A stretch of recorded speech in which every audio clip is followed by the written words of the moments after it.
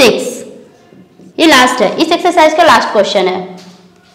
M minus M minus one upon two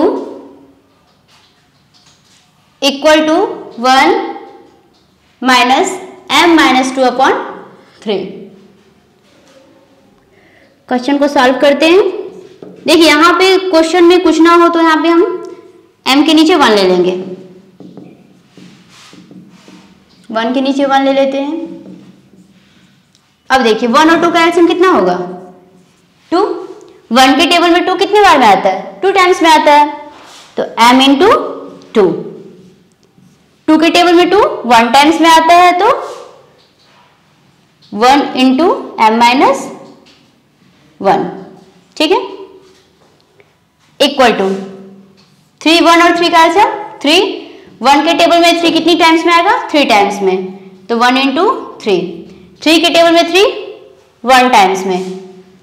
तो one M minus two अब m into two कितना हो जाएगा? टू एम माइनस अब m माइनस वन को वन से करेंगे तो m माइनस वन ही रह जाएगा। बस इसका साइन चेंज हमें करना होगा। One into three three minus M minus two क्योंकि वन से आप मल्टीप्लाई करेंगे तो सेम रह जाएगा।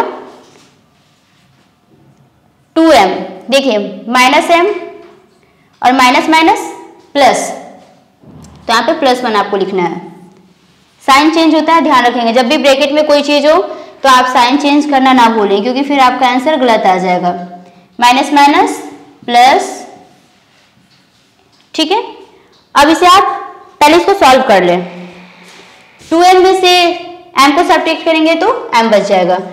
M plus one upon two और थ्री और देखिए प्लस टू है तो ये दोनों ऐड हो जाएगा तो five five minus M upon three अब इसे क्रॉस मल्टीप्लीकेशन कर देते हैं।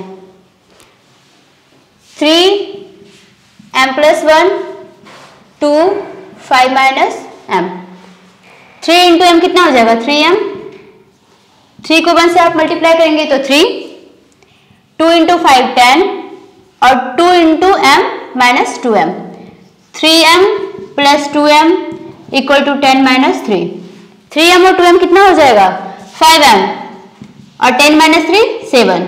तो एम की वैल्यू हमारे पास कितना आ गया? Seven upon five final answer